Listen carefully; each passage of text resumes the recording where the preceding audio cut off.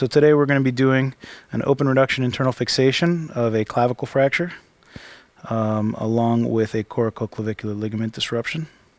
This particular specimen has really great bony landmarks, but I generally try to cheat my incision a little bit inferior in order to gain better access to the coracoid. The coracoid process is just below. You can see the level of mobility here because of the simulated disruption of the coracoclavicular ligaments. And this is our fracture site. We've used a modified, what I call a modified compression clamp, where I've straightened the tines out of a reduction forceps or a towel clip and made two pilot holes. And I've just been careful to uh, keep it out of the way of where I'm going to place my fixation. I've chosen a uh, superior distal clavicle plate. There's a cluster of screws at the distal end of the plate that accommodate 2.7 millimeter screws. The proximal portion of the plate, the oblong holes, will accommodate a distal clavicle tightrope. So we'll start off with a bicortical screw. And I've measured from the drill, so I'm going to ask for an 18. We can also take this off and use a standard depth gauge. And again, I'll take an 18. We'll use a non-locking screw first in order to bring the plate up against the bone.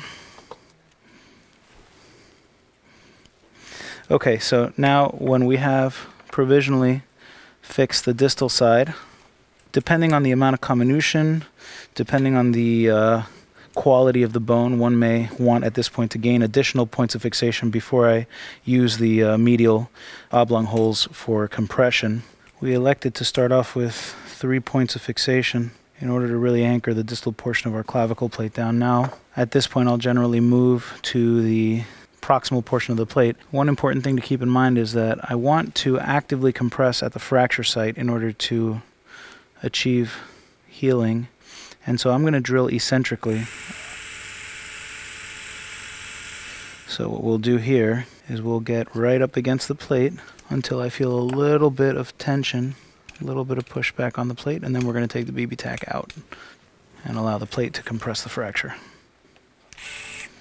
And so in situations where you have really good bone quality or very good bony apposition, and you want to compress for a second time, or compress further, you can bring a second screw up against the plate here, and once you get to the level of the oblong hole, you loosen this one.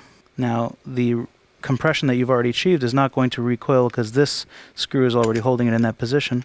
All it's going to do now is it's going to compress the fracture further.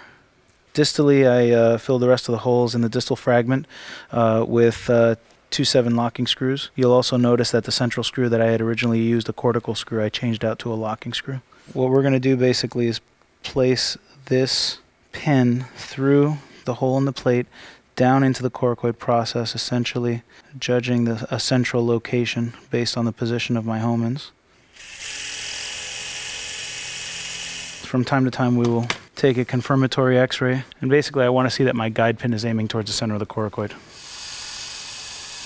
And you can see very subtly that I just barely advanced through a couple of millimeters, right in the center of the coracoid. The, the angle of the image makes a big difference too.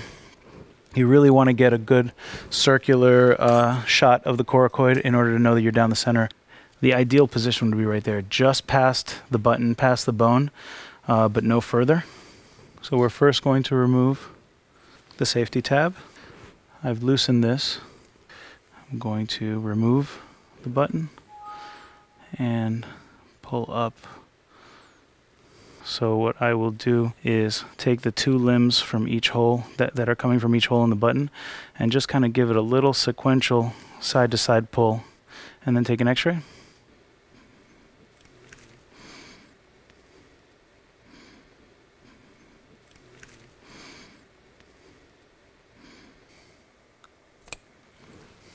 The option of a knotless tightrope is really useful in this particular part of the body, being that the clavicle is such a subcutaneous structure not having the prominence of a knot is very helpful.